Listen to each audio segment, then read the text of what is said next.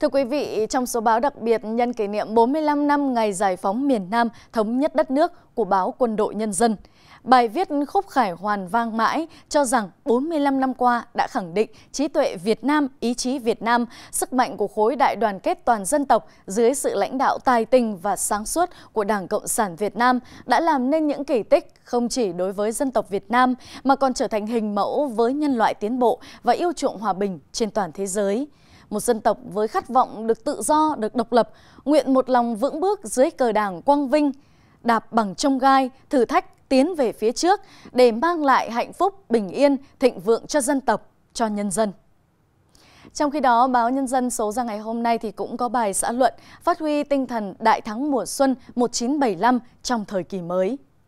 Phát huy truyền thống cách mạng tinh thần đại thắng mùa xuân năm 1975, những năm qua, toàn đảng, toàn dân và toàn quân ta đã vượt qua mọi khó khăn thử thách, tiến hành sự nghiệp đổi mới đất nước do đảng khởi xướng và lãnh đạo, giành được nhiều thành tiệu to lớn có ý nghĩa lịch sử, kinh tế đạt được nhiều thành tiệu quan trọng, văn hóa xã hội có bước tiến bộ rõ nét, đời sống vật chất tinh thần của nhân dân được cải thiện rõ rệt, hệ thống chính trị và khối đại đoàn kết toàn dân tộc được củng cố và tăng cường, chính trị xã hội ổn định, độc lập chủ quyền quốc gia được giữ vững, tiềm lực an ninh quốc phòng ngày càng lớn mạnh, quan hệ đối ngoại ngày càng mở rộng, uy tín và vị thế của Việt Nam trên trường quốc tế không ngừng được nâng cao.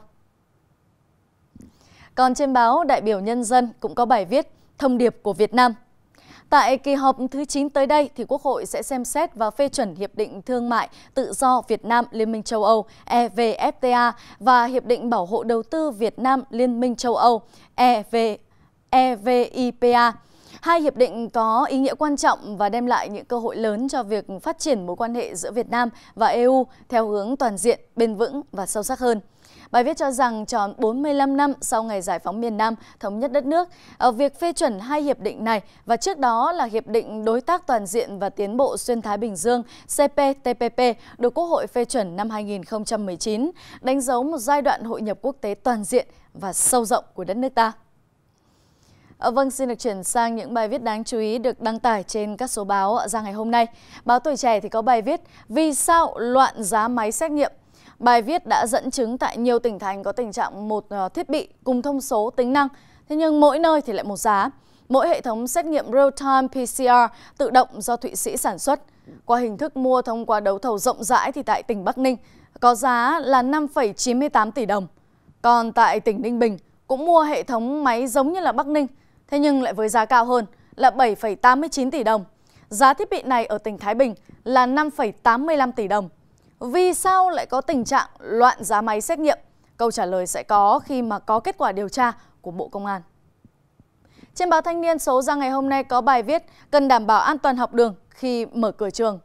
Trước diễn biến có phần lắng xuống của dịch bệnh thì gần 30 tỉnh thành trong cả nước đã mở cửa đón học sinh từ ngày 27 tháng 4.